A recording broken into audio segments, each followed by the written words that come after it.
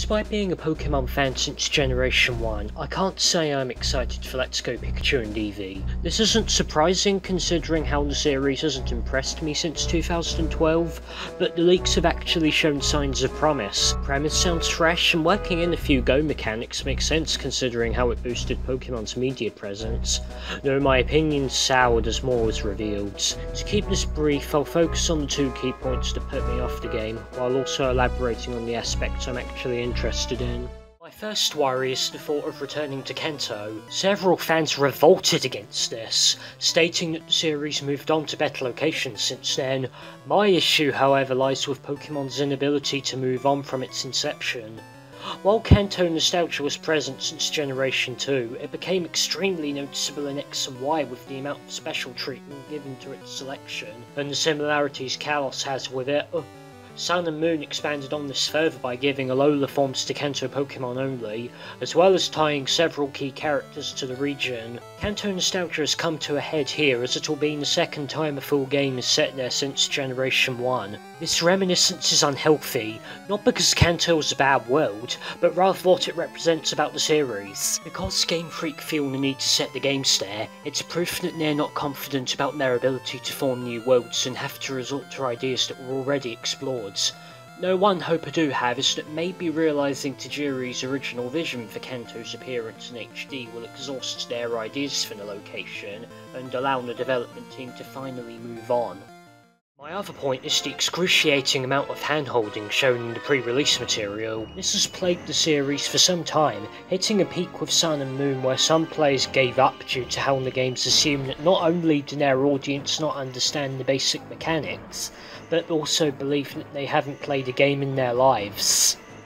The handholding has gotten so bad here that the gym guide even states that players cannot fight Brock without a Pokemon that Rock is weak to. Compare this to the original Pokemon Yellow, where players could test the waters with a trainer whose team would prove that your Pikachu is nigh useless here. Learning from their mistake, the player would then find a Pokemon that would get the job done, such as a Nidoran that knows Double Kick which rock types are weak to. This example alone does a fantastic job of teaching the player about type matchups by allowing them to see what works for themselves. With Let's Go, however, the player is forced to take the easy route, preventing them from receiving a proper learning experience of the game's mechanics and testing their skill by experimenting with less favourable Pokemon. It's like if a teacher told you all the answers to a test right before you entered the exam hall. This is condescending to not only younger audiences, but also casual players who might want to start playing Pokemon. This isn't the only instance of this questionable design philosophy, as the developers have also stripped other mechanics such as the practice of weakening the Pokemon in order to catch them, meaning they can't receive experience points for knocking them out should they not wish to perform the capture process. The reasoning the developers provide doesn't help either, with Masuda stating that the classic catching mechanics were too difficult to grasp. While I'm welcome to change, outright dumbing down the mechanics for both older and newer players is an incredibly misguided approach to re-innovating the series. I could go on about other tired Pokemon habits that haven't been altered here, but there are some ideas presented that I'm all over, several of which I'd love to see in the Generation 8 games. No, with Game Freak's track record of axing features, I'll keep my fingers crossed. The first concept of love is replacing random encounters with interactable Pokemon on the map. Let's face it, random encounters are a JRPG design quirk that should have died out long ago. They slow down the pace of the game heavily thanks to a combination of loading times, overly bombastic animations, and sometimes severely high encounter rates. Removing them from Pokemon not only eliminates the aforementioned issues, it also allows the game world to feel less barren as you can actually view species like Pidgey roaming the map. Game Freak seem taken with people and Pokemon coexisting. Axing random encounters takes this notion to a new level as the two parties won't be separated by these abstractions.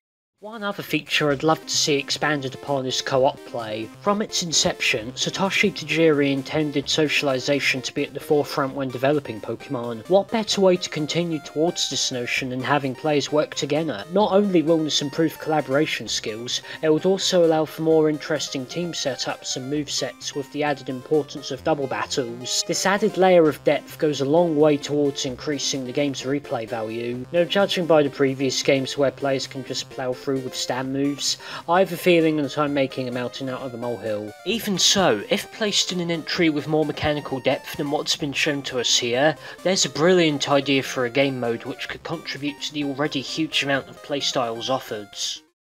Summarise, I don't believe this game is nearly the betrayal that some Pokemon fans are making it out to be. There are some brilliant ideas being showcased which can not only streamline the series, but also help the core gameplay move further towards harmonising with Tajiri's vision. No, it's undeniable that Game Freak haven't strayed away from their worst habits, and in some cases, have outright embraced design trends which several players heavily disagree with. It's obviously too early to come to a final decision about the game's quality. No, what I will say is that I'm not fully impressed with what I've seen so far. If the rest of the pre-release period fails to change this mentality, then this might end up being the first entry that I pass up on entirely. Any feedback would be strongly appreciated as it will help the channel grow more effectively.